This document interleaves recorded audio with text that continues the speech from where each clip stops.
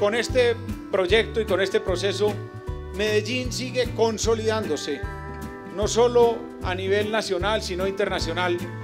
como una ciudad modelo, como una ciudad referente